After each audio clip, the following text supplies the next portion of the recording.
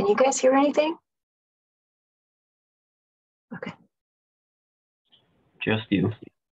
Okay.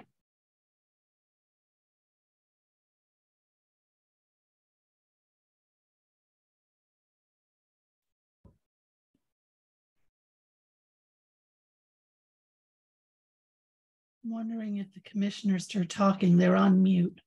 Can you hear us now? Yes, thank you. Okay. Oh, We should do the introductions. again. Well, what, we're gonna start our introductions over again. Right now, we'll start down. I'm Eric Casino. I'm in District Two and the chair of the Thurston County Planning Commission this season. We'll start in the boardroom with the rest of the introductions. Uh, Jim Simmons, District Three. District one. Doug Carmen, District Two. Barry Halverson, District Two. I'll call the names of the planning commissioners from Olympia. Uh, have you introduce yourselves? Uh, Commissioner Quetin, Hello, Greg Quetin, uh, City of Olympia, Bigelow neighborhood. and Commissioner Richmond, Uh, here, Carol Richmond. Commissioner Sauerhoff.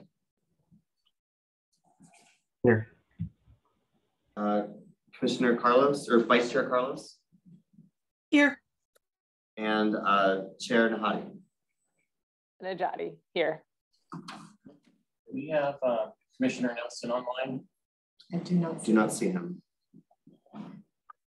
Commissioner Nelson, you online? No? No. Yep, he just popped in. Oh. oh. Commissioner Nelson, are you here? Commissioner who? I don't think we- Nelson, Commissioner Scott Nelson? Yes. Great. He's here.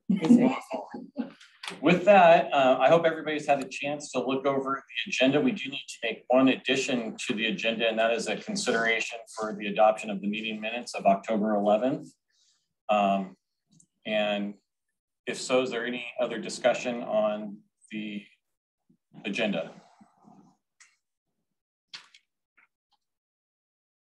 I'd entertain a motion. I move we accept the agenda. Second. Call for the vote. Um, okay, I'll start in the room, I guess. Um, Mr. Halverson, Aye. Mr. Wheatley. Aye. Mr. Simmons, Aye. Vice Chair Carmen, Aye. Chair Casino. Aye. Okay, moving to online, um, Commissioner Nelson, Aye. Commissioner Wheaton, Aye. Commissioner Richmond, Aye, Commissioner Sauro. Aye. Uh, Vice Chair Carlos, hi, Chair Nejati. Aye. So that motion passes unanimously. Now on the adoption of the meeting minutes, those are specific to the county commi- planning commission and not the Olympia City Planning Commission. So has everybody had an opportunity to look over the October 11th meeting minutes? And if so, I'd entertain a motion on those. I move we accept the uh, meeting, the October eleventh meeting minutes and the audio as the official record. Thank you. Second.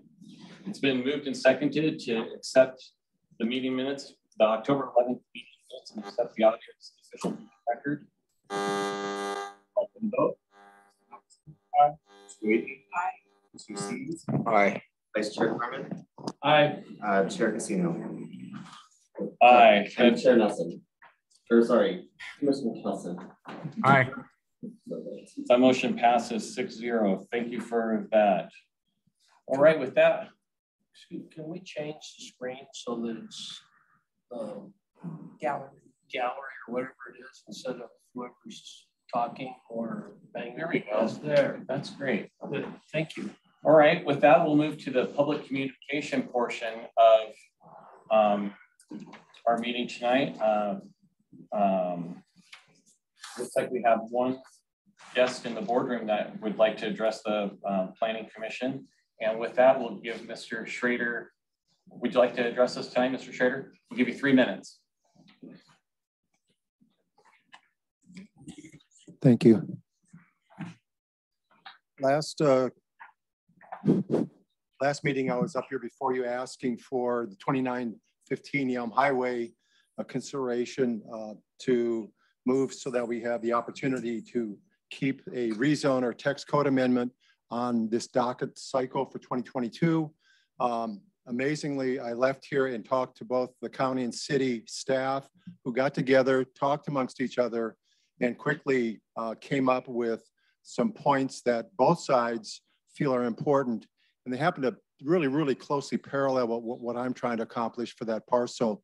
And I want to just flat out say, hey, thank you, Leah, uh, Maya. I mean, there's there's people in the background there, uh, Tim Smith, Joyce Phillips, um, Carrie. Um, they just flat out did a great job. Everybody's busy, staff is short, and I want to just go on record to thank you very much. I don't know how you do it, but you did it for for this project, and uh, I was very impressed, and I really appreciate it. Um, I think that you all got a um, 11 page uh, kind of a talking points of where we stand. And so um, that's kind of what I would like to stay with, and I uh, stand behind that. I've been on the board of realtors for seven years. I was the president last year, 900 some realtors. I want to just say that we as realtors are in this office here very, very often. And this office, this is Thurston County uh, and other jurisdictions, the city and so on, gets beat up a lot about, hey, the staff is this or this or that. But I, I want to just say that I, I worked in Malibu and um, which was very difficult, Malibu City, LA County, California Coastal Commission. If you want to talk about hard, that's hard. But this year county staff and the city staff are, are, are uh, including that they're working with short staff, have done an amazing job and they, they continue to do that. So I want to just say this, us fellow realtors, we see it and we want to say, and I want to for them say thank you. But so um, please look at the uh, 11 page talking points. Um, I stand behind those and I uh, uh, hopefully suggest that uh, you'll have it as part of this docket uh, session. And uh, appreciate you all being here and offering your time. Thank you very much. Thanks for coming in. All right, do, we do have some people online. All right, we'll move to the online portion of public comment. Um, please choose the raise your hand option if you wish to address the planning commission. You'll be promoted to panelist when it is your turn to speak and be seen. To be seen, turn on your camera. If you're dialing in, press star nine to raise your hand. Make sure to also choose star six to unmute yourself. A three minute timer will show on one of the video screens to help keep track of time. And if you go a little long, I'll cut you off. With that, who's Loretta Seppanen first. Loretta, you're up, please. Okay, thank you. I'm Loretta Seppanen, uh, resident of the city of Olympia, and I'm going to speak about the joint plan. I thank you, uh, Planning Commission members, for asking some questions of staff the last time you had the joint plan there, and was helpful to get the information. I'm going to talk about agriculture in the city of Olympia. It's a tiny portion of agriculture in our whole county, but it's important to, to work on this issue right for the city. Um, back in uh, 2021 and 2022, members of the Thurston Conservation District staff did a study that I believe was presented to the city's land use committee about farmland in the city. The key points are that there are farms in the city and in the UGA, uh, 275 acres, not very much compared to the rest of the county, but um, it's really tiny in the city. Um, less than 0.2% uh, of all the land in the city is farmland. But in the UGA, it's 3% of the UGA right at this moment. And that study also found out that the amount of land that's in ag in the UGA could double because there's land that would be good for farming, the, the study said, and uh, it's vacant at the moment or not used for other purposes. So that's 123 acres currently. It's mostly in three places, and I wish the report would talk about this. Just pull information from that study that the Thurston Conservation District did. Up there in the area that's north of the city around Friendly Grove Park area, there are some small nurseries and there's one large, it's the largest, I think, um, farm in the city, uh, in the UGA, 75 acres. It's at 2123 Lister Road Northeast. It looks to me like it's in Hay. Then uh, that UGA that I think of as being just north of Lacey, really, um, it's above 15th Avenue, has uh, two like each 20 acre farms. With hay and orchards. And then in the south area, um, there's the most well-known farm and the farm that will soon disappear. Uh, Spooner's Farm, there's some other farms in that area too, but uh, the largest one is Spooner's Berry Farm, the one that has the uh, Yelm Highway um, uh, fruit uh, food st stand. Um, I'm told that one of the reasons why UGAs are UGAs is because they don't have, um, they won't be able to have sewer and water in some places. If that's the case, that should be in this report. And if that's the case, that can relate to planning for agriculture or um, garden, community gardens or open space. And that all analysis of places that can't have more dense housing should be in our report. I think it's a little bit premature to move. I know why staff want to move this forward to before the end of the calendar year, get the whole thing done. But I think it's premature. There's a lot of boilerplate in the report that could be eliminated and more accurate information, more descriptive information added to this report. Thank you. Thank you. Do we have anybody else? Uh, David Toyer. David Toyer, you're up, please.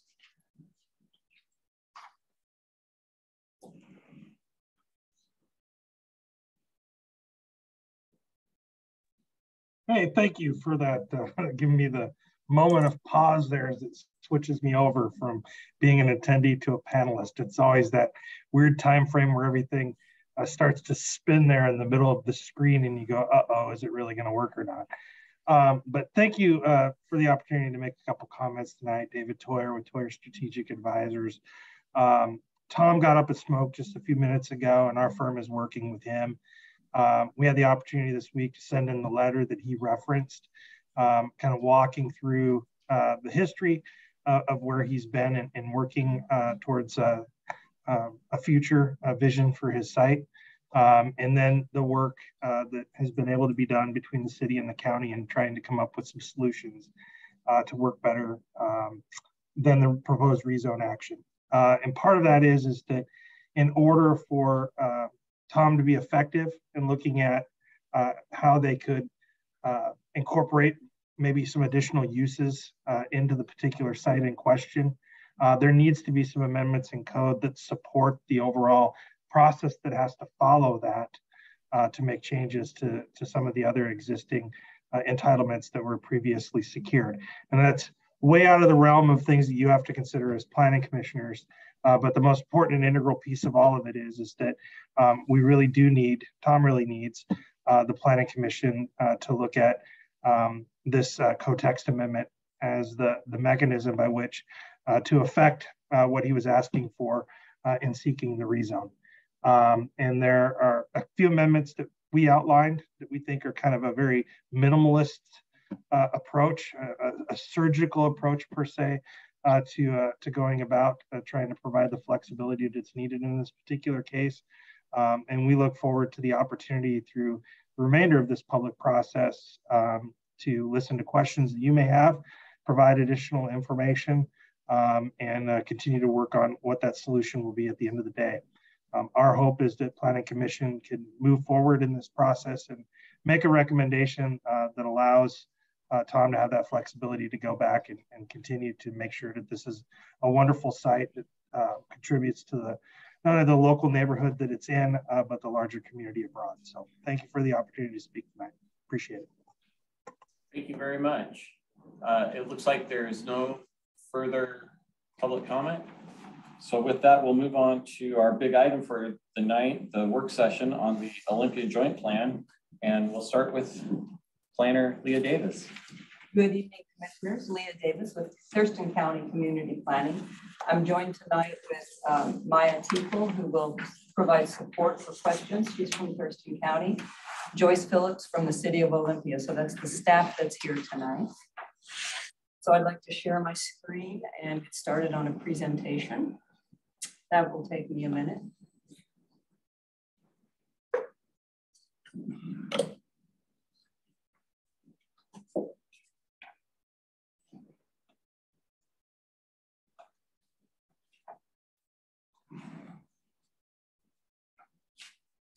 All right, so uh, as you said, we're here tonight to look at the um, update of the Olympia Joint Plan. We had a work session two weeks ago, and we covered um, the vision for the urban growth area with population and job forecasts, as well as an overview of each element and its goals. The, com the commissioners requested that staff bring back significant changes from the 2004 joint plan and uh, compared to this, this update. So tonight, we will review the purpose of the joint plan, the mapping corrections, the significant changes from the 2004 joint plan, what has changed uh, from the last work session. There are a couple things on the agenda, a Glenmore Village update, and the next steps required to keep this on track.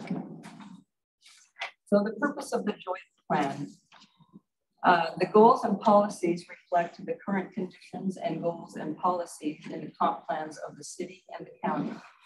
The joint plan is the basis for future planning decisions, which help guide development in the urban growth area as it transitions from rural to urban, and it provides the framework for development code. The joint plan assembles goals and policies from all departments, and as a reminder, each county department has reviewed, re, reviewed those goals and policies and uh, agreed that they are in alignment with their own goals and policies. So a quick review of the urban growth area. It is the white areas on this map. It totals about 3,900 acres. In the next 20 years, we expect an increase of population of 20,000 in the city and the urban growth area, and most of that growth will occur in the UGA. So during this update, staff is taking the opportunity to make mapping corrections. There are minor corrections where there's clearly a data error. There are seven of them in the Olympia UGA. They were included in your first packet from three weeks ago. So I spoke with the GIS expert who manages the geodatabase for long range planning. And she told me that when one, when one area uh, of the geodatabase is adjusted or changed for some reason, it can cause other small shifts in different lines. And so this is, um, this creates the, the errors that we see as an example on this map.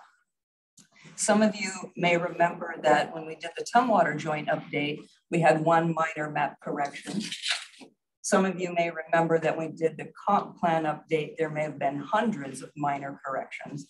And on this one is just uh, seven routine mapping maintenance issues. So I have this, this screen blank so you're not distracted by uh, reading. I want to tell you that I did my best comparing the 2004 joint plan to this current update. It was very difficult. The uh, 2004 plan had different formatting. It was organized differently. The language was somewhat different. It was 514 pages of text. The um, joint plan was adopted by putting asterisks by the goals and policies of that joint plan. And that's how you have to read the whole joint plan to look at the asterisks to see what was the joint plan. So were the asterisks the Thurston County goals and policies? Yes. That's why they were asterisks? Yeah, that was the joint plan part of it. So it was a challenging, to say the least, to um, compare the two, but I did the best that I could. And um, I also want you to know that the old goals and policies are less important. They're there and some of them have changed. The intent and the concepts have not changed much. Um, but what's most important is to look at these current goals and policies, the ones in the joint plan update, and, and find out, you know, discern if they are um, appropriate for today's world. That's basically what we're looking at, not the old goals and policies. So uh, the best that I could do in the natural environment um, was come up with some of these goals that have been added or nuanced. Language has been added regarding urban forests and protecting marine and aquatic waters. The language in the old plan uh, mentioned air pollution, where this plan specifies carbon dioxide and greenhouse gases. Light pollution is also mentioned in this draft, and I did not see it in the other draft. So just, this is the update. These are the things that I see that are in this draft that were not in the previous draft, the previous joint plan. So the land use chapter, uh, there were two added goals that included language about trees and food production.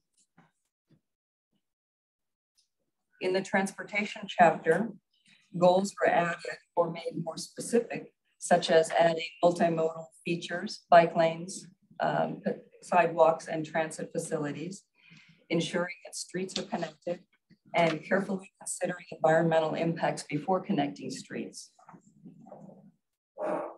Also, adding and maintaining bike and pedestrian paths, as well as regional and local trails, and making streets attractive places.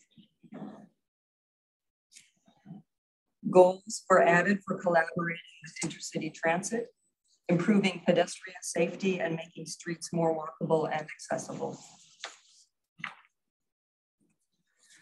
There was only one addition in the utility chapter and it related to solid waste management. The parks chapter has added a goal stating that facilities and programming foster community building. Also, two goals were added to support art in general and art in public places. In 2004, the county did not adopt the economy chapter of Olympia's comprehensive plan. Since then, the county has shown that the economy is a priority and they've hired economic development staff. So we have included the economic or the economy chapter in this update. Some of the, um, the summary of the economic goals includes a stable economy that pays living wages, maintaining a strong revenue base, maximum benefit from infrastructure, and collaborating with others to maximize economic opportunity. It goes on adding historical resources and tourism to support the economy, as well as supporting small businesses. In the public services chapter, some of these goals may have been scattered throughout other chapters in the 2004 plan, but are now incorporated in this element. They include accessibility to social services, enough capacity for emergency, transitional, and affordable permanent housing, attempting to get land use compliance without issuing citations, but continue to track and report land use complaints and resolutions. There are goals to provide a high level of fire, emergency medical, and disaster management services, involve community members in solving problems, and provide cost-effective police services that are consistent with community values. So this is continuing with public services chapter, involve the community in policing priorities and problem solving, collaborate with other service providers, and hold accountable the conduct of deputies. Another change that some might think is significant is throughout the plan, language has been updated to be more inclusive, such as using community member instead of citizen.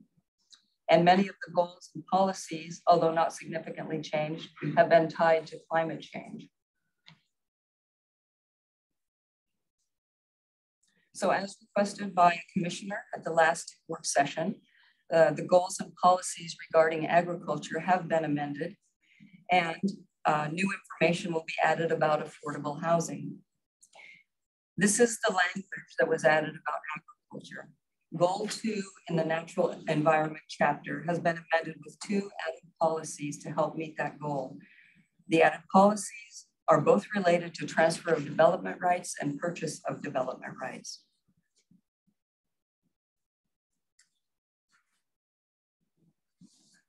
So the addition since the last meeting, uh, a community member provided comment pointing out how the history of affordable housing, the affordable housing crisis could be updated to include more recent economic challenges that have impacted housing costs and availability. So expect to see those changes in the public hearing draft. of the joint plan. We frankly just didn't have time to draft that and get it into this, but we're going to add some updated history of the economy as it relates to housing, housing. So now I'd like to revisit the Glenmore Village update. Uh, as you probably remember, the proponent uh, requested a change from community-oriented shopping center to professional office, multifamily residential. And the city was not supportive of this change. And I think Joyce from the city, uh, would you provide uh, an explanation of the path forward? Great, thank you. So yes, um, one of our concerns with um, approval of a rezone um, was that the city's process is a little bit different in that we would be processing an amendment to the master plan at the same time. So we aren't necessarily opposed to some of the goals that are trying to be reached, but our process is a little bit a little bit different. And so rather than um, moving forward with approval of a comprehensive plan amendment and rezone at this point, we're more supportive of a proposal to have a um, text amendment to the COSC Community Oriented Shopping Center Zoning District that would um, accomplish most of the um, provisions that were outlined in the applicant's comment letter that you received. Um, so those things, I'm sorry, I'm just trying to make sure I get the right document open here.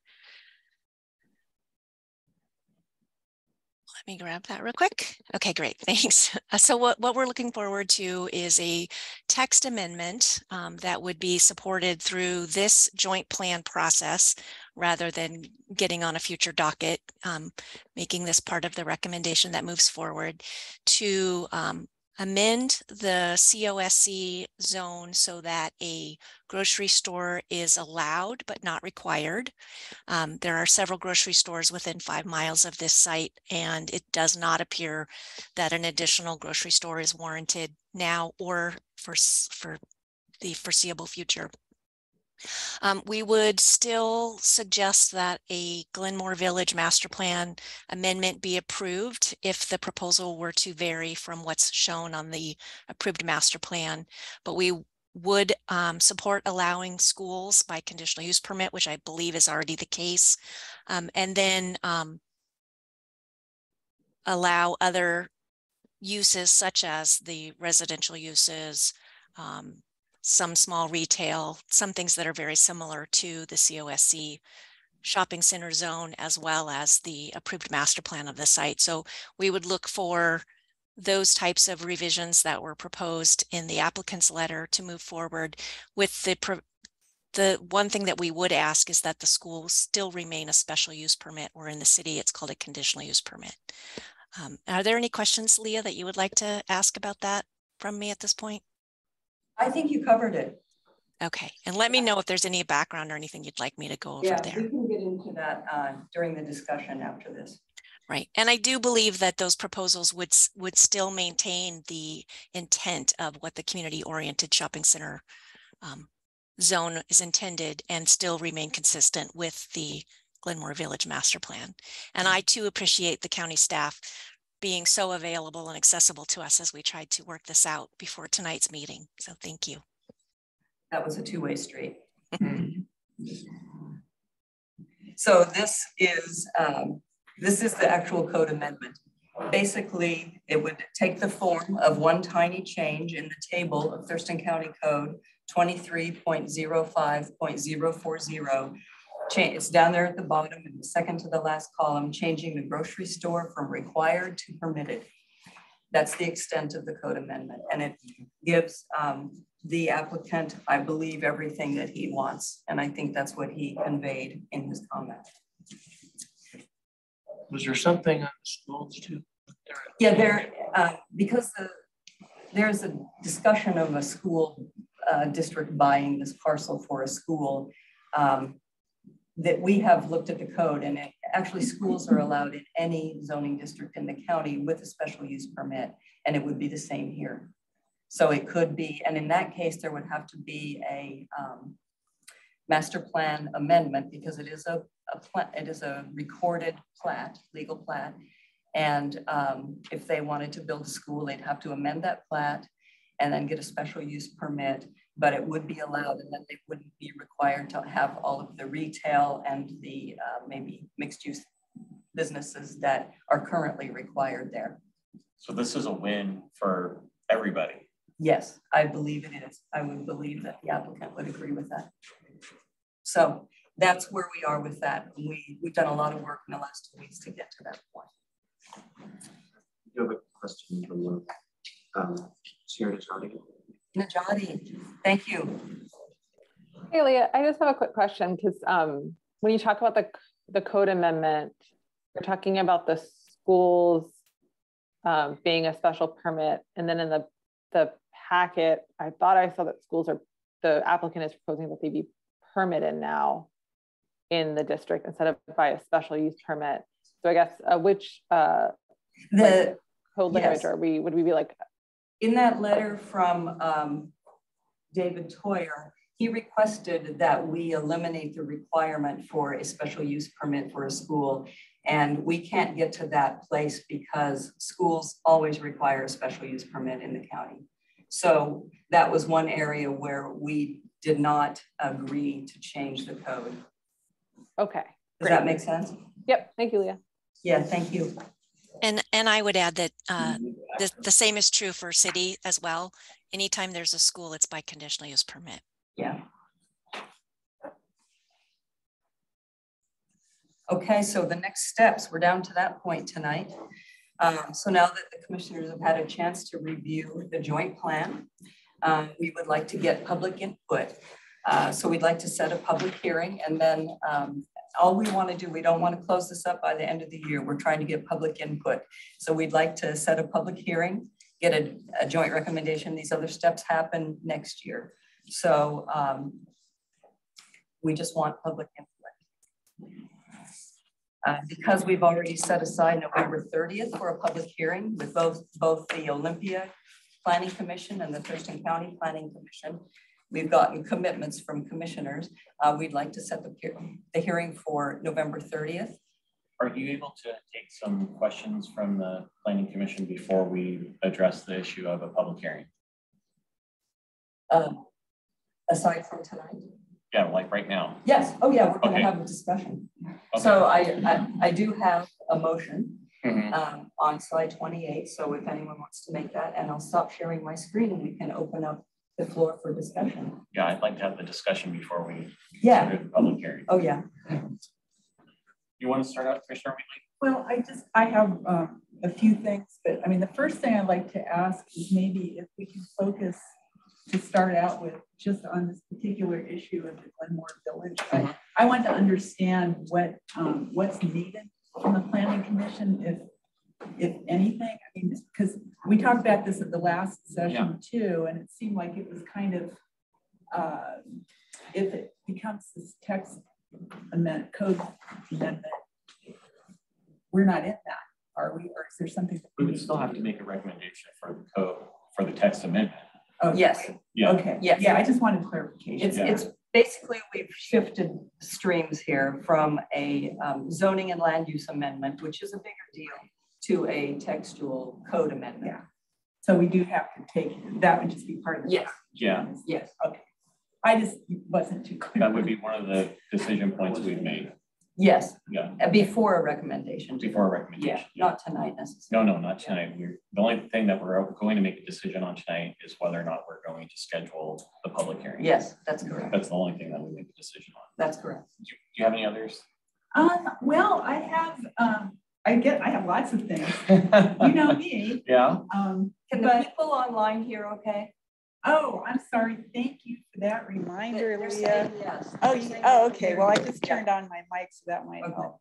Um, but Leah, really quickly, a clarification. Um, you said in during the presentation um, that the UGAs were going to take the um, the bulk of new dwellings, basically in Olympia, and I that confused me a bit because I was looking at the buildable lands report, and it seems to tell a different story.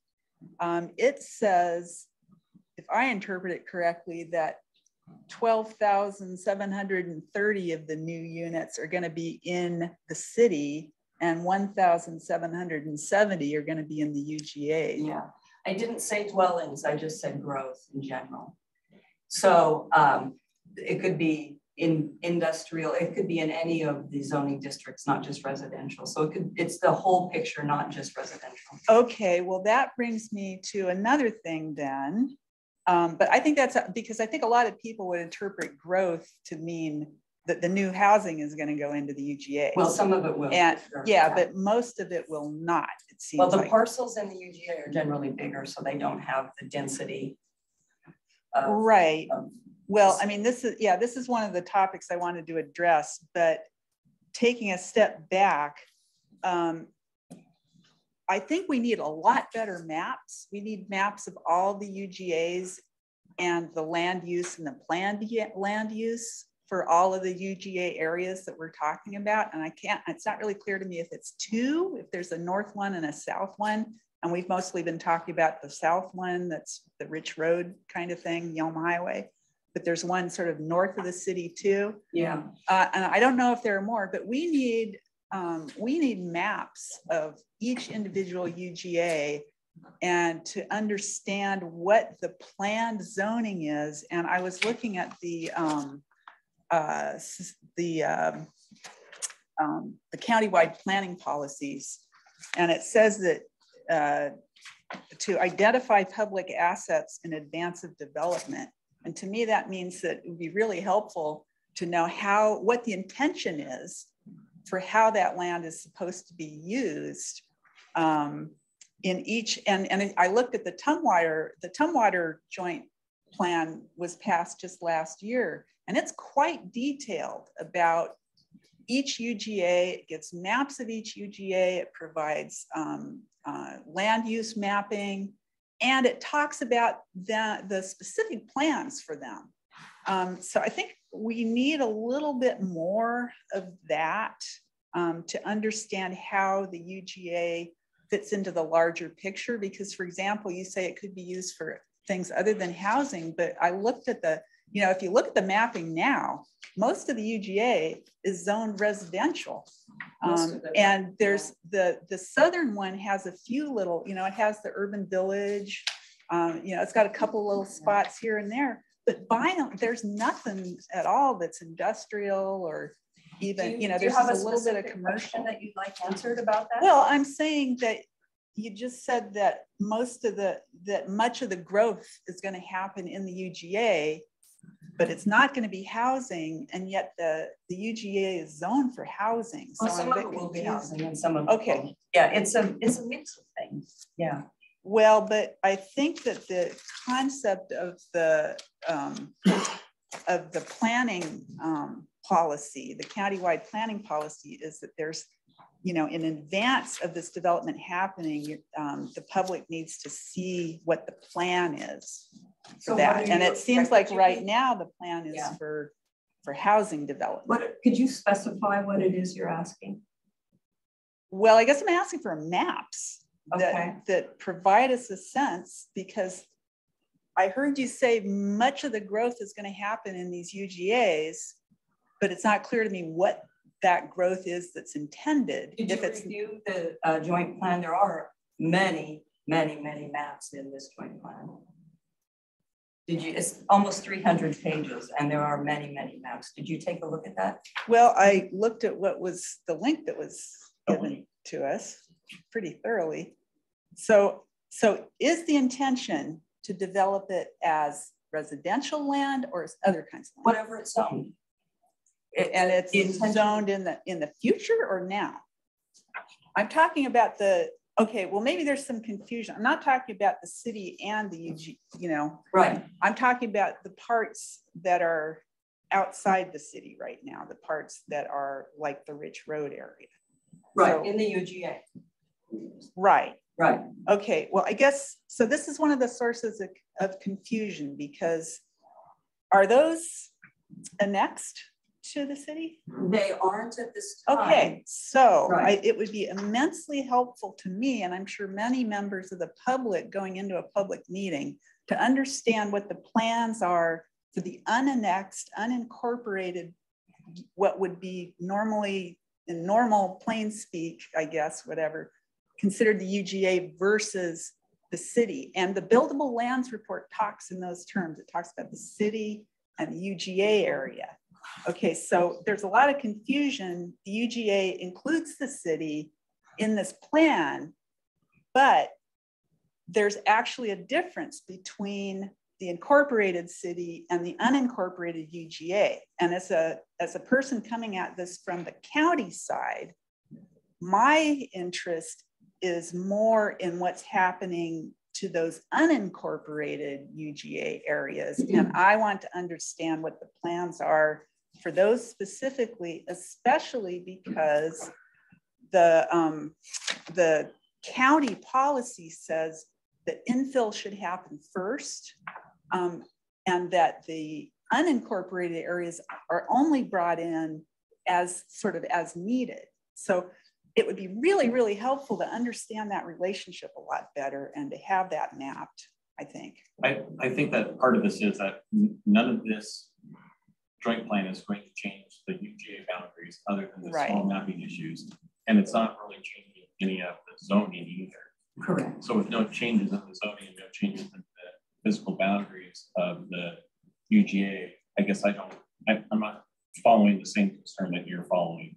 Because that's the plan for it in the next 20 years, the way that it's set out right now. They're not planning on changing the UGA. They're not planning on changing the zone at this point.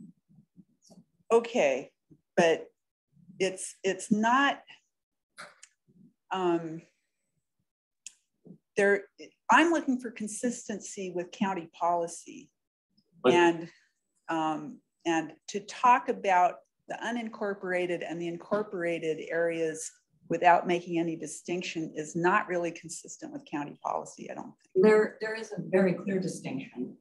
Okay. And this joint plan only refers to the urban growth area. It, it is um, a comprehensive plan that helps get these areas prepared for more dense development as the population grows over the next 20, 30 years. And then infill is happening too, believe me, I live in infill. And um, yeah, I know. And, and it, it- we just have to accommodate a bigger um, population and the jobs and the housing and where they drive and go to work. So these, you know, these things are all included in um, the, the urban growth area. Commissioner Nelson, you wanted to jump in on that? Yeah, I think, I think we're coming from a different place, but I think me and Commissioner Wheatley are going to the same place. Is that when I read this, I see an Olympia city comprehensive plan. I don't see joint planning. It is, it is um, the intent of a joint plan through the Growth Management Act and the countywide planning policy is to prepare areas in the urban growth area for a transition from rural to urban development. So it's important that these areas, for the people who live there, it's important that these areas are um, consistent in the types of development, the, the zoning, the density, that they're consistent with what's going on in the city. And that protects the rural areas from sprawl, overdevelopment, inappropriate uses. So it's, it's about concentrating the development and accommodating growth at the same time. Does that make sense? Joyce? Thank you. Um, so I just wanted to agree with what Leah said and part of the part of what happened when the city of Olympia updated its comprehensive plan, which was adopted in 2014, we worked with the county staff then for because when when cities plan for their municipal boundaries, they're also required to plan for how they're going to provide services to the entire urban growth area. So we have to look at how we um, would address transportation, water, sewer, stormwater, all of those types of things for the UGA and we for the city and the UGA. And we know that in some instances, the county's rules are going to be very similar but different than ours. So we have different forestry provisions, we have slightly different um, engineering standards, we have probably slightly different zoning standards. Um, the county has a different critical areas ordinance than the, the city does. The county has a different shoreline master program than this, than the cities, but they're, there we do this work in cooperation with each other. And i have a map that's technically not in the comprehensive plan. Um, it's our it's the city zoning map and show so it only shows the city limits in color.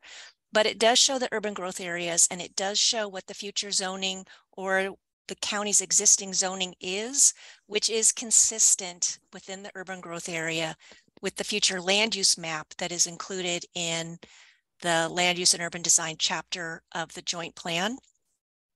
So I have both of those available that I can show you, but the other part of it is um, it's consistent with the existing comprehensive plan. And I don't believe it changed very much at all when the city did its work back in 2014. So I'm happy to share those on the screen with you.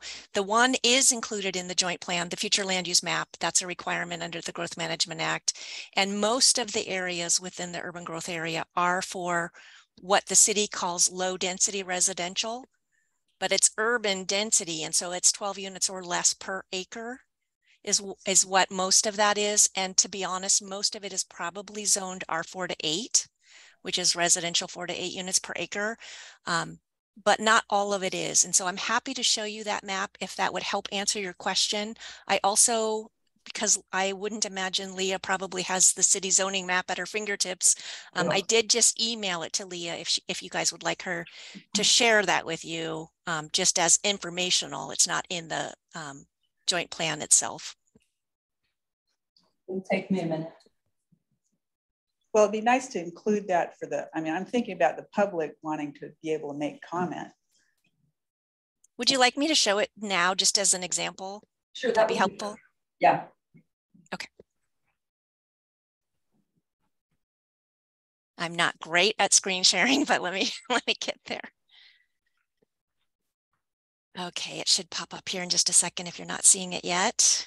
Okay, yeah. so this is the city's zoning map, which is not part of our comprehensive plan, but you can see the city parts are in color and then the urban growth areas are shown in gray.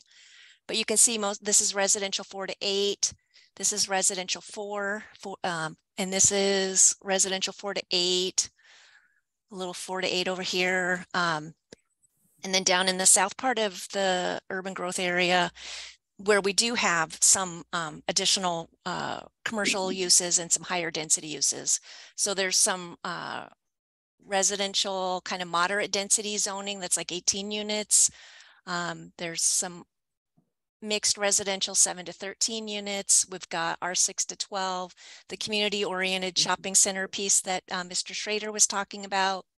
Couple of little neighborhood retail places along Yelm Highway, um, a little bit over there closer to um, uh, what's is it called Victorian Village? That one little area. I, I always forget the name of it. It's so cute though.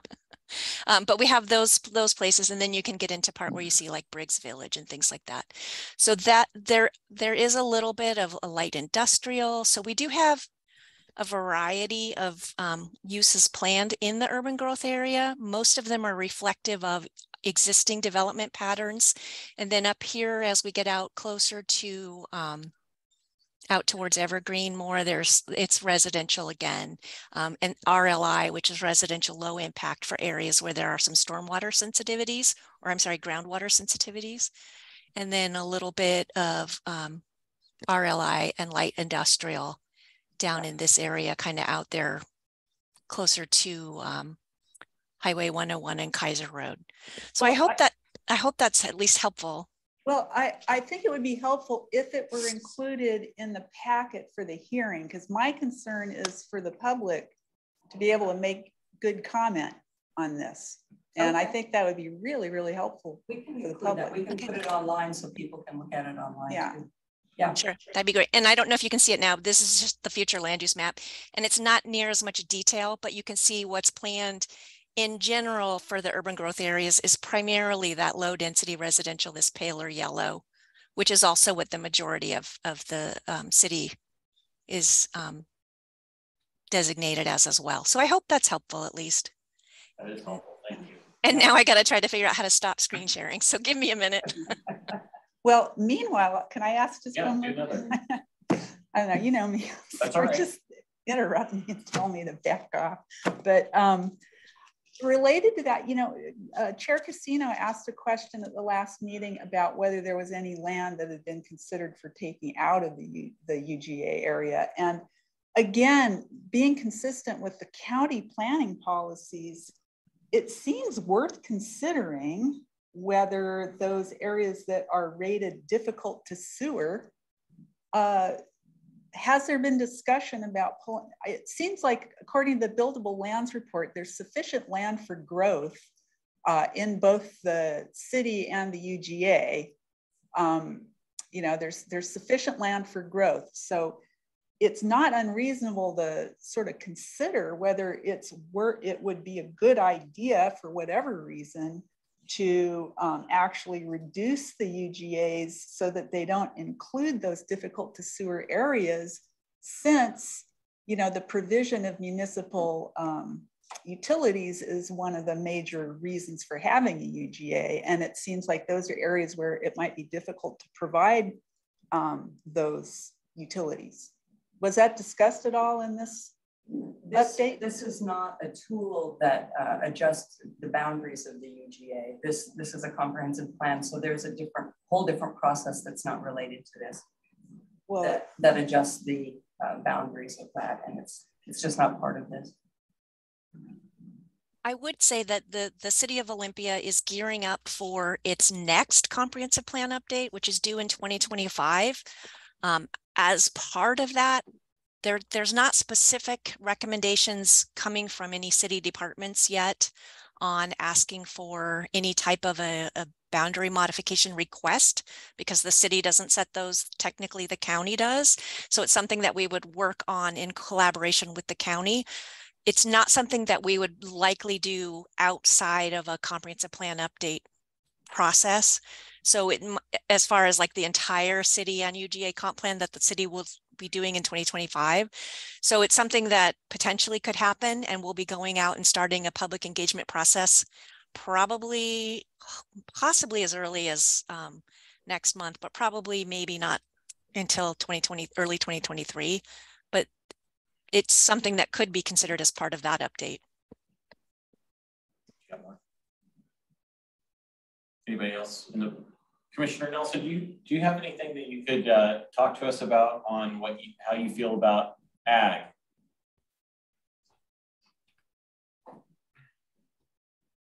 Well, I mean, to be honest, I don't see much of it all in here, which I'm not entirely surprised in the UGA. Um, but I kind of want to go back to the comp, the whole. I mean, to me, this isn't. I have an overall issue with this, in that we're going to take. Staff is asking us to basically take Olympia's comprehensive plan and make it the joint plan. Which my real problem is, is if we if we just make it a policy that we're going to do this, then we really lock the people who live in the G- UGA out of the process. Because if I'm a city council member, I might be worried about this person who may be in the city in 20 years, but what do I care what they think right now if they're in the county?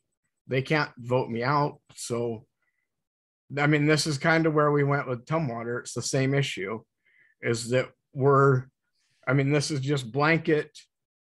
Here's the Olympia City comp plan, deal with it. And I mean, there's even, like, I went through this and there's things in here about downtown, about Harrison Avenue. That's not supposed to be in the compre in the joint plan. The joint plan is supposed to cover the urban growth area, not the city. We talked about that at length and with the, staff of the county and the staff of the city. And basically what, what we ended up with was that people who live in the urban growth area access those parts of the city on a regular basis. They may work there, they may shop there, they may recreate there, and leaving those in was informational for the people who live in the UGA. It's not it's not any goals or policies that directly impact the people in the UGA, except in the ways that they interface with um, those sections of the city. I, I have a, kind of to piggyback on what um, Commissioner Nelson was just saying when we, were, when we were talking earlier about how this was developed in alignment with the goals and policies at every department level.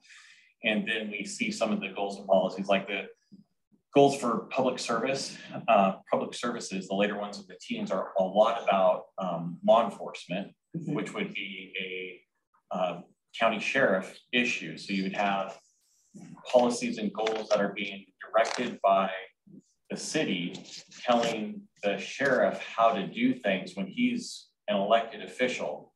I am I am kind of uncomfortable with a planning document telling another elected official how to run his business or her business. So um, that's a similar concern to what Mr. Commissioner Nelson had and a similar concern to Commissioner Wheatley. Um, but you said that this was developed in alignment with every department. Have, has the sheriff in this particular case actually commented on this and said how he feels about these policies and goals? Yes, that every section was sent to every department and please review this, provide all comments, things that weren't in alignment, we, we removed, wording that was not quite in alignment, we edited, and it was, uh, all of this was approved by Ray Brady, the undersheriff. He, Brady? Yep, he reviewed it and provided extensive comment. Was anything changed as a result of those comments? Boy, it's been a long time. Um, yeah, well, first of all, the language was changed from, you know, police officer to deputy. A lot of that language was adapted. Um, there weren't significant changes that I recall. I mean, I, I have records of all those emails back and forth and all the changes, but I can't recall anything off the top of my head. So, so when you do, when you set this all up, it's goals are kind of your guiding idea, and your policies are actually how these these agencies are supposed to act. Um, I, I, guess I'm still having a bit of a hard, you know, if uh, if uh, Under Sheriff Brady said that he's okay with somebody else dictating to them policies instead of those coming down from their elected, I mean, that I guess that's kind of their business, but I'm a little surprised by that. And it still makes me feel a little uncomfortable to tell the sheriff what to do through a planning doc document. Well, I'm, I think they're less of a dictatorial tool than they are um, in alignment with our county policies. They read them and we, we had personal conversations about it. Okay, I'll he, he had opportunities. So I think that he basically what I got from all things that weren't removed was, yeah, that fits with our policies. All right. Yeah. So it was all vetted for every department. Commissioner Wheatley. Well, I'm still, uh, you know, we're sort of, you know, we're coming at this from the county planning point of view here. And um, I really think, I mean, all the questions that we're asking kind of point to the fact that there's a concept of phased development that goes right back to the 1988 MOU. You know, that the reason we have these UGA areas that are not annexed is that they're for future growth.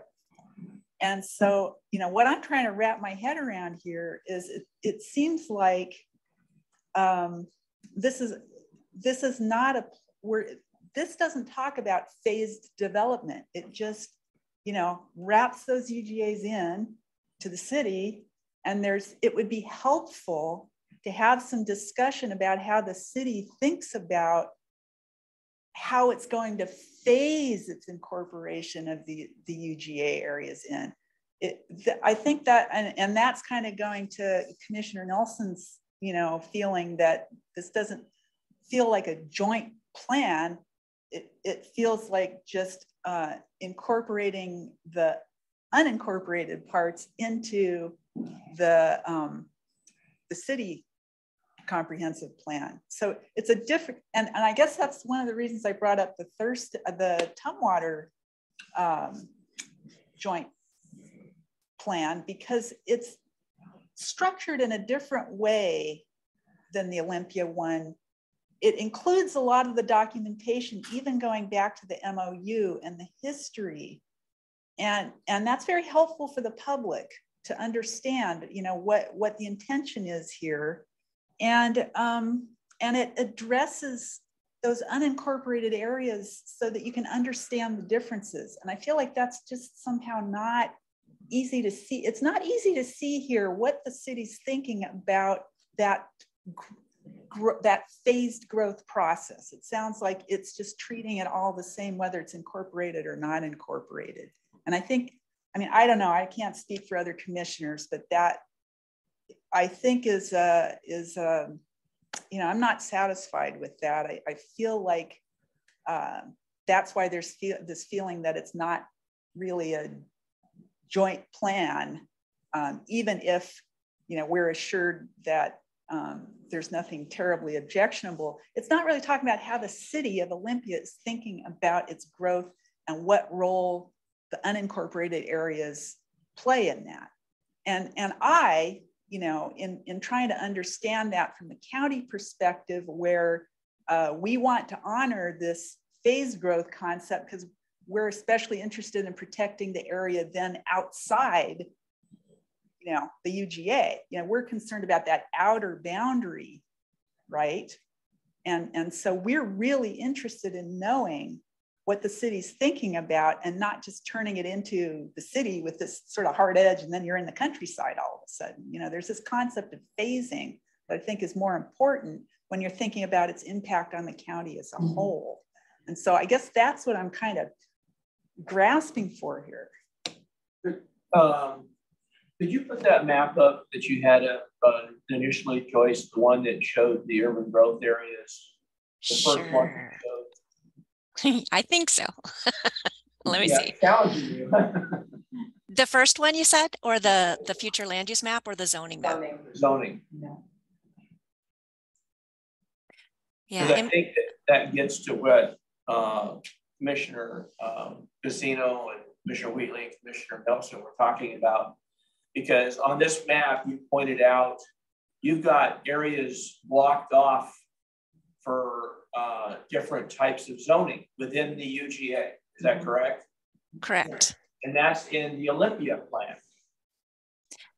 Yes, it's so the the city of Olympia's urban growth area has a future land use map that shows what the intention would be for future development in the urban growth area upon annexation if the city were to annex it within the next 20 years, which right. is what is generally supposed to happen to urban growth areas. Right. And then this map, our zoning map shows, I believe that this is consistent with the city and the county, the way these are currently zoned. Like right. the COSC is the the property that Mr. Schrader was talking about.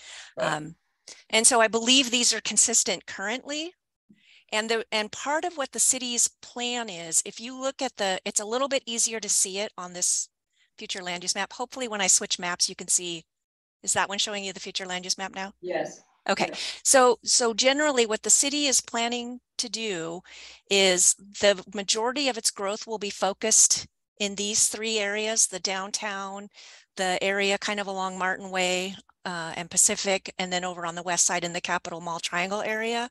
Mm-hmm. And, and that's where the majority of um, future growth will go, but that doesn't mean that's where all of the future growth will go. And so most of these areas, as you transition from the more urban intense areas of development out towards the unincorporated county, the land uses go down in intensity. And so you have like some some higher intensity development zones, and then you have less intense development zones, and then even less intense until you get down to these lower density residential areas where it's like R4 to 8 or R4, which are some of our most um, least intense development zones that we have. And so, and so the intention is that the core includes the most of most of the future development.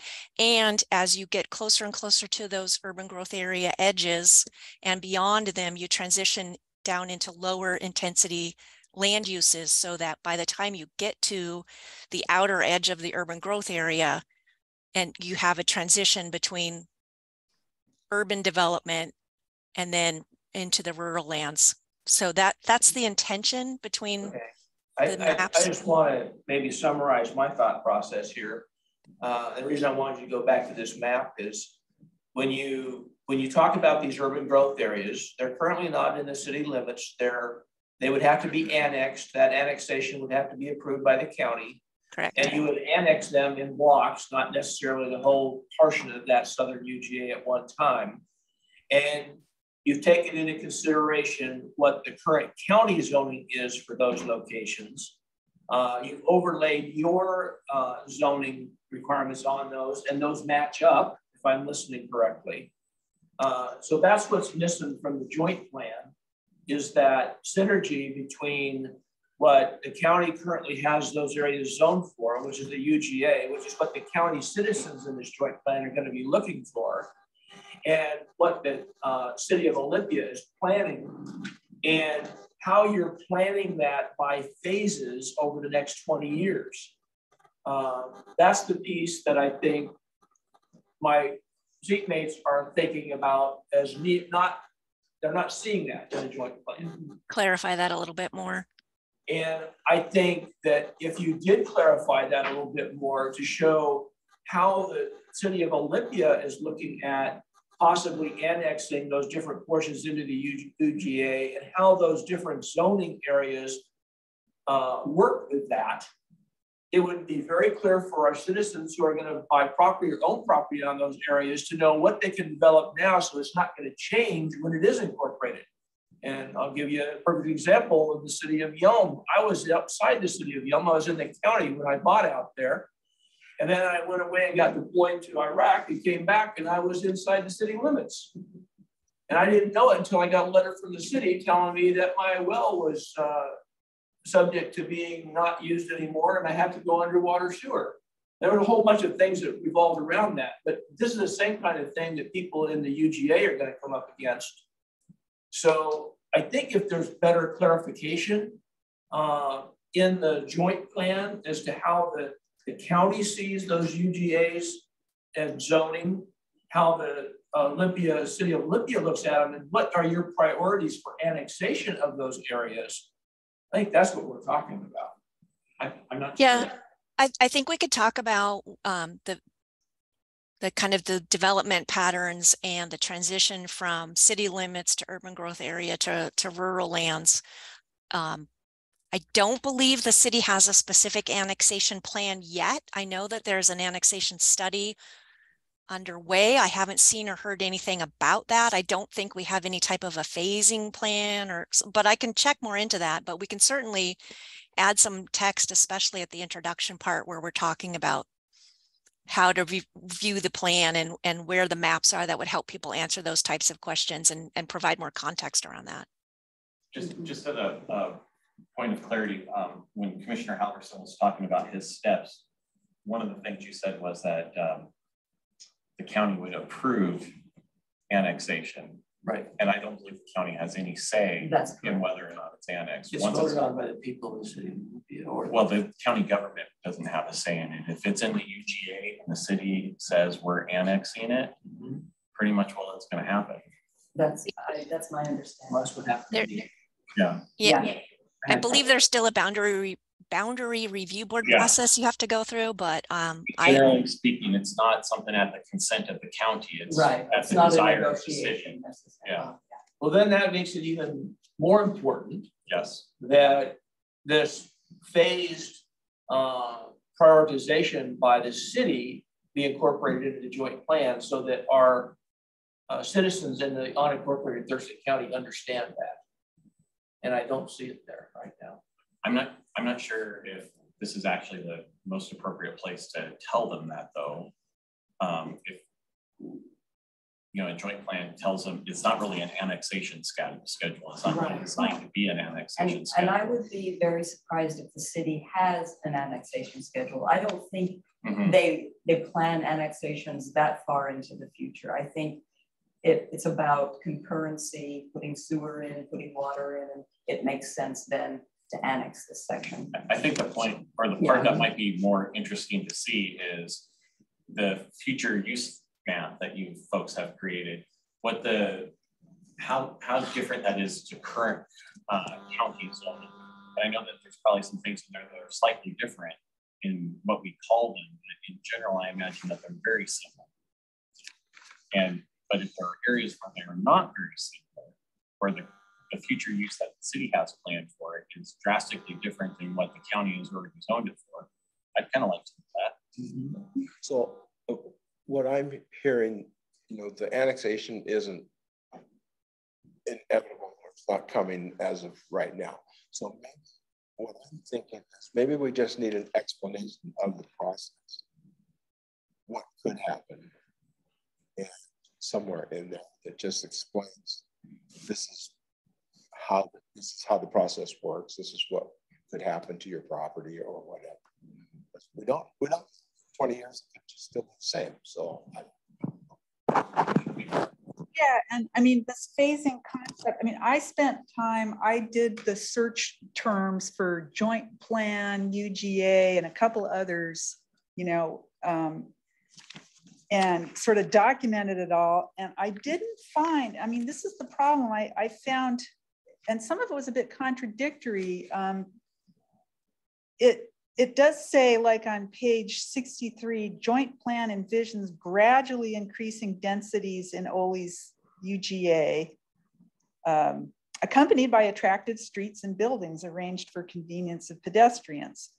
You know, and that, you know, things like that, it's not specific enough, you know, it's not specific enough for people who are in the uh, unincorporated UGA. They need to have a better understanding of how the city is actually thinking about you know that there are many places in in it where it speaks as if the unincorporated area and the and the city are exactly the same and everything applies exactly the same and i think that was one of the few places where i found any discussion of there being a difference and that there, there needs to be a plan for how those are incorporated. And it only talks about, you know, making attractive streets and buildings. Um, so that's, that's just not enough, especially, I mean, I really want to draw people's attention back to the countywide planning policies where there are really specific statements about how to protect rural areas, which is, you know, a big concern for us. Um, encourage infill first, phase outward from core areas, um, et cetera, et cetera, and have a public participation plan for uh, when you're amending um, the joint plan.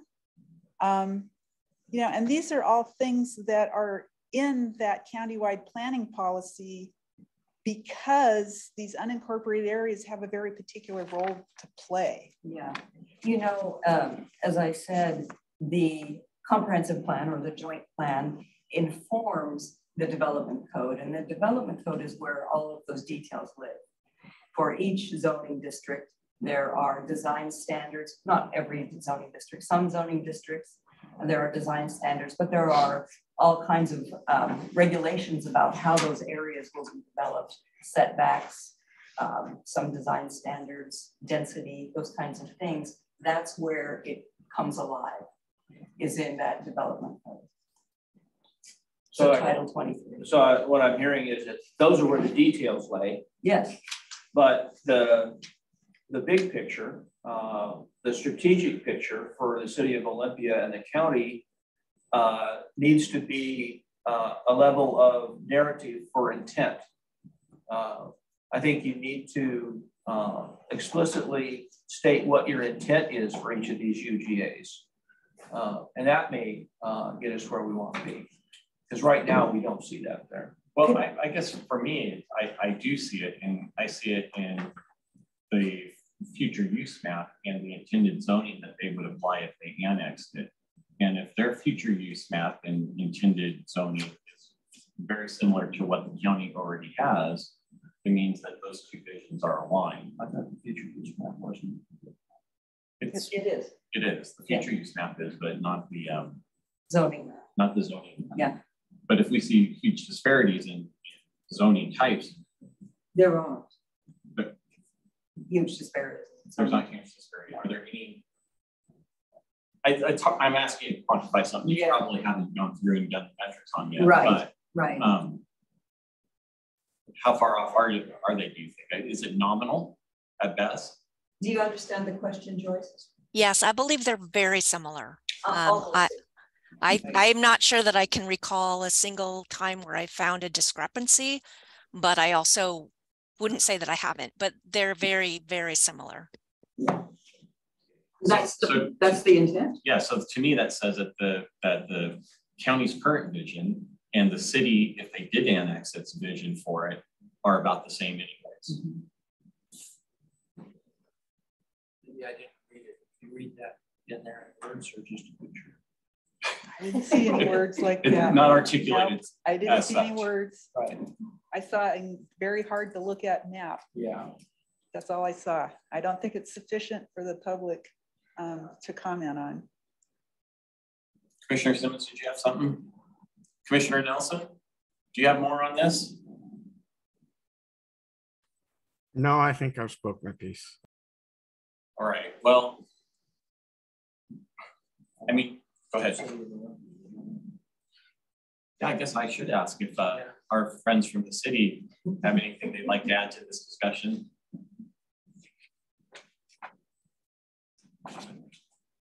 I'm not seeing any uh, hands turn yellow, so. I- you know, this- Go ahead. Carol. Carol. Carol, please, Hi, please. Thank you, thank you. Yeah, well, one question that I have um, is, um, and, and Joyce mentioned that uh, the city will be updating its comp plan over the next um, couple of years.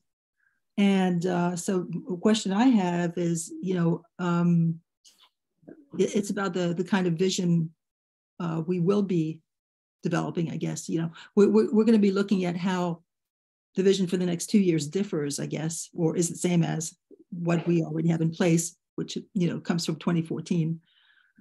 Um, so it's just a question sort of, you know, rattling around in my head. Um, I'm not quite sure wh- where we're going to go with that, but um, I, I do think that some of the direction that we have taken um, in terms of uh, trying to create more density throughout the city, uh, but especially in the high density nodes that, that were referenced earlier, um, I think we're going to try to, I, I think that's sort of an underlying philosophy or approach, you know, that the city has developed just because the land is limited. And um, of course, we can't be entirely sure how many, you know, how much growth we are going to have. It could, it could be a lot. It could be a lot more than projected. It could be, uh, probably won't be less. So um, that may affect um, the policies, you know, going forward and the, and the future land use map and so forth and, and the pace of development. Um, so it's just something to think about. And um, we'll, we would have to revisit, of course, the joint plan um, with that, that, with that uh, sort of new, uh, with that new information. Um, yeah, so I don't know if anyone else has given it that any thought um, or, you know, has anything to add. Thank you. Yeah, I, I guess I'll just go back to what I said. I understand that the details are, are separate in a, in a different area, but I do think that that map uh, should have some uh, vocabulary that goes with it, some narrative that goes with it to explain my UGA area. Because you've got separate UGAs around the city of Olympia's boundaries. And each of them, uh, you have a different intent for uh, based on the, proposed agenda, the proposed expansion, and the current zoning for those areas. Uh, I think it would be great uh, for that map to break out uh, for each UGA, um, like was recommended by Commissioner Wheatley, and show by UGA in the joint plan um, what the intent is currently uh, expected by both the county and the city uh, for that UGA. When you say intent, do you mean the zoning for that? that The, the zoning that and, and the fact that the, the, the preponderance of um, growth within the city is going to be in those downtown corridors in that area that they identified. Uh, But as growth expands, uh, these areas will be considered uh, as zoned by the, currently zoned by the county, or that those areas have some modification for zonings if they're incorporated into the city of Olympia, what those modifications would be. If any, it would be nice to have that specified in the joint plan so that the citizens of the Thurston County that are taking a look at this before we go to the public hearing would understand that, okay, well, the, the county says that this is what our zoning is. The city of Olympia says that that's the zoning that we are going to consider for that area, or we're going to consider that zoning with some changes, and this is how those changes might be. Even though they're very similar, Joyce, I think stating that verbally along with each of those UGAs in the joint plan would surely add a lot of clarity for it. Go ahead. Yeah, and the city of Tumwater, I believe they went so far as to in sort of provide inventories of sort of assets within the zones or something, as I recall.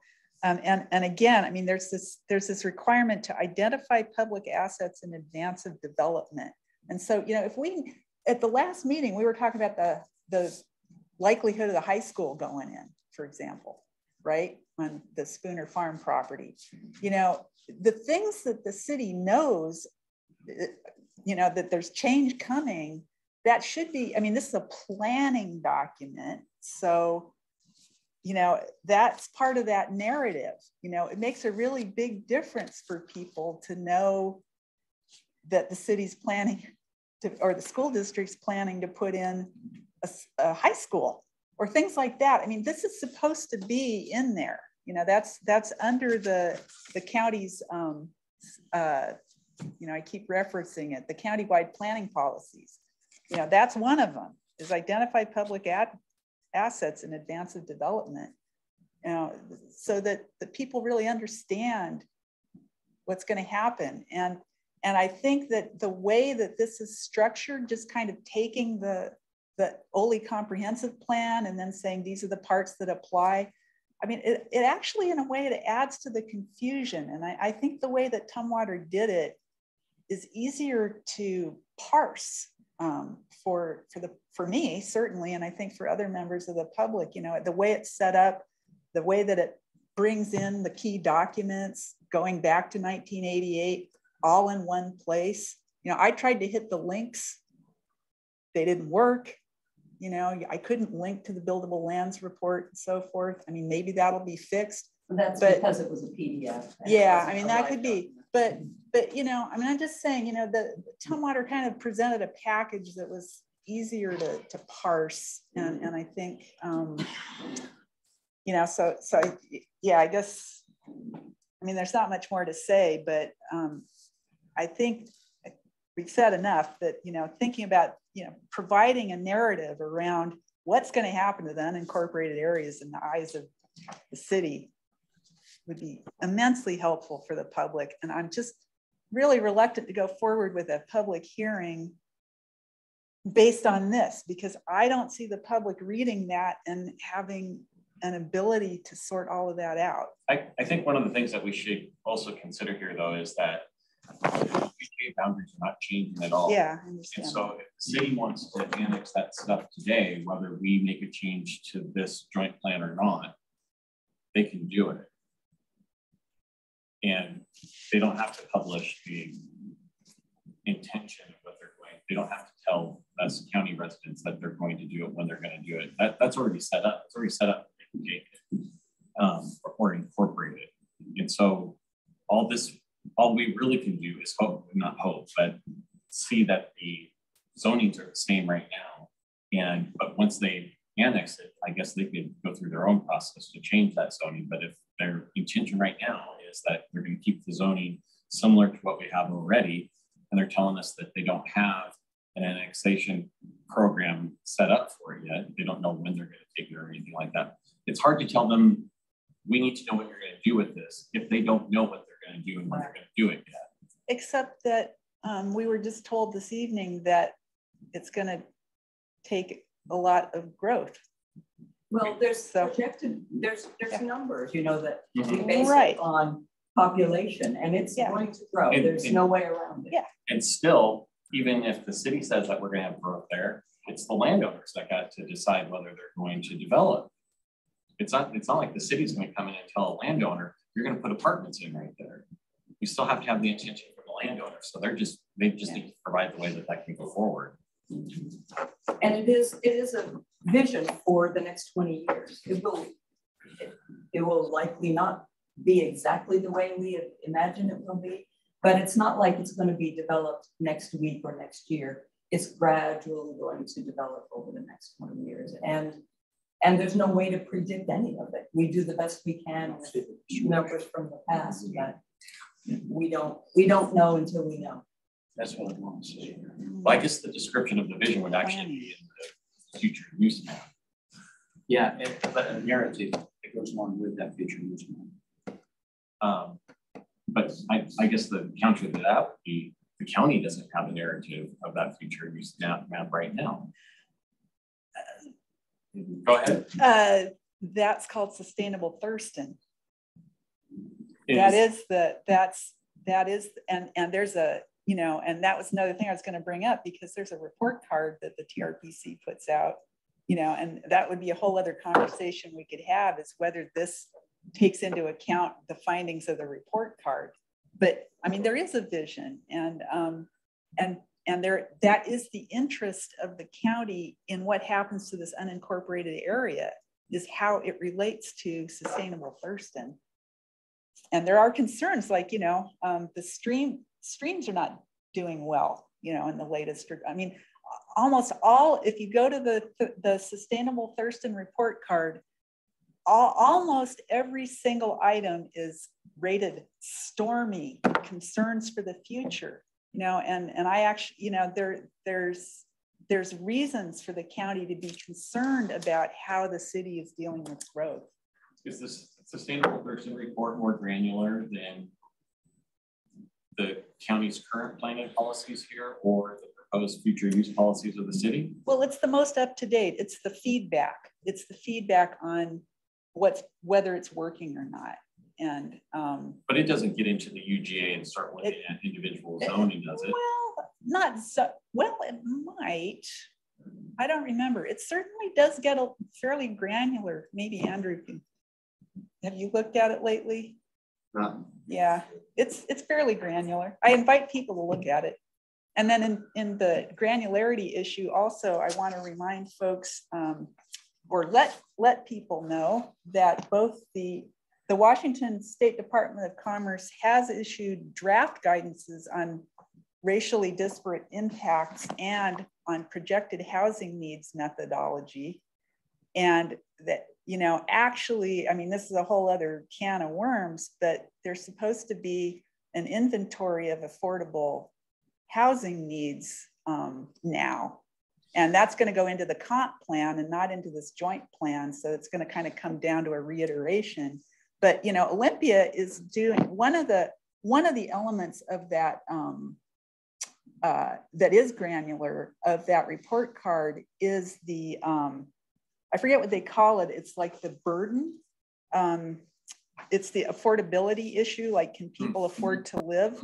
And that's one of the report card issues. And Olympia is has the worst, um, you know, the worst stats of all, right? Um, for a lot of reasons, and it and it works very hard to to resolve those problems. But again, you know, that's an area of interest um, for the county and the city to work on together. Is you know they're just way out of whack with the sustainable Thurston goals, um, and so of course there's an interest in um, you know how that's how that's going to be um, addressed. But you know I don't think that's going to happen in this particular iteration. But um, it should. But yeah. Commissioner Carmen, you look like you got something to add. No. I'm ready. Yeah, sorry. Uh, sorry, sorry, Doug. we have uh, any other comments from our online members? All right, well, we still have the issue of a public hearing and oh, That, that was me, sorry. I just wanted to, to affirm that I am, um, I do take into consideration Commissioner Nelson's comments about people who live in the urban growth area. And we do encourage an outreach to neighborhoods within the urban growth area because we do consider them to be future residents of the city of Olympia. We don't turn them away, but it can be harder to reach out to them as well. Um, but I will say that one of uh, some of the members of the Council of Neighborhood Associations that we work with um, are residents of the urban growth area, not the city limits. And we do try to bridge that gap. And we often refer people back to um, work with the county or work with both the county and the city at the same time. So I, I used to be a county planner. I, I do take that into consideration. I understand those types of concerns and we do try to be sensitive to that. It's, it's, it's a tough issue to deal with sometimes. So I just, I just wanted to state that it, I do think about that from time to time and, and try to be sure to reach out to folks that live in the urban growth area and not just work with city neighborhoods or residents. And, and I also want to remind people that when we're thinking about this, this uh, public hearing, one of the reasons for having it is so that we can hear. This is mm-hmm. that's really the best way or a great way for the public to come and tell us exactly what they think. And we're not making any decisions on it. We're not like tonight. We're not making trying to accept anything other than set a public hearing. And I want to hear what the public has to say on this. So um, we should keep that in mind. We'll make decisions about this joint plan after the public hearing and after more work sessions. And I hope that when we have those work sessions, we can have uh, staff from both the, the city and the county helping us through some of these issues. Um, but I'd love to hear from you. Okay. I just, I would encourage, uh, yeah, I know this is a big ask. Joyce, I know this is a big ask. Uh, but between now and the public hearing on the 30th of November, because I'm going to vote for to go forward the public hearing, I think all of us will. But between now and the public hearing, you publish the joint plan, I think there's at least three or four of us here tonight on the Thurston side that would like to see a descriptive narrative uh, of the different uh, UGAs around the city of Olympia and how the county has those and how the city envisions them to be. Uh, moving forward during this next 20 year period. To include those areas that you've identified in the northwest sector that may be problematic bad term in some cases, uh, for septic systems. Uh, and what your vision is for that. And maybe that you may envision that the county look at with the update of the uh, comp plan, taking that out of the UGA. Just those kind of things I think would be very helpful to all of us. I, I think we can accomplish that. Um, it is a big task because it involves other departments making maps and they're busier than we are. And, um, but I think we can get that done, make some sub area maps of the different UGA sections. And Joyce, will you help me put together some narrative about, or you or Terry? I'd be happy to work with you on that. Yeah. Great. Thank you. Okay, with that, I would um, hope to entertain a motion. I move to set a joint public hearing for comprehensive plan amendment docket item CPA one I, uh, the Olympia Joint Plan for Wednesday, November 30th, 2022 at 7 p.m. or as soon thereafter as a matter of Is there a second? Second. It's been moved and seconded to hold a public hearing for the comprehensive plan amendment docket item CPA one, the Olympia Joint Plan for Wednesday, November 30th, 2022 at 7 p.m. or soon thereafter as the matter may be heard. And this is a both planning commission vote. So Call for the vote, please. Starting online with us, Olympia Planning Commission, Commissioner Wheaton, Aye. Commissioner Richmond, Aye. Tara, Aye.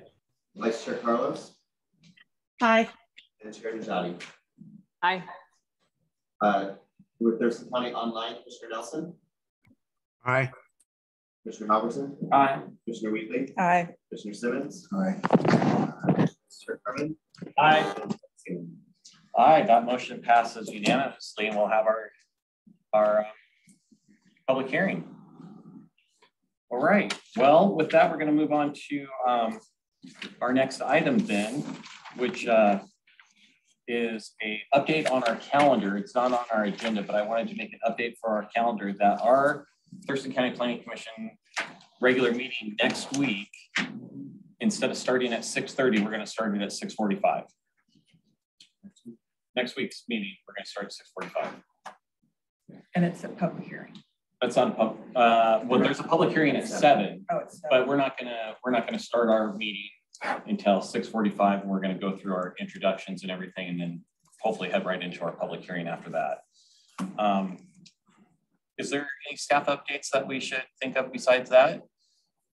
Is there anything else for the good of the order? I'm, I'm just curious as to what is happening with the Glenmont case right now.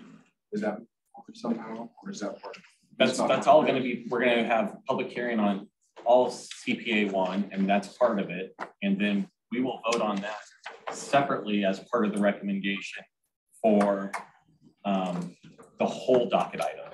So we'll have multiple, multiple portions of, of that in our recommendation. That will be one of them.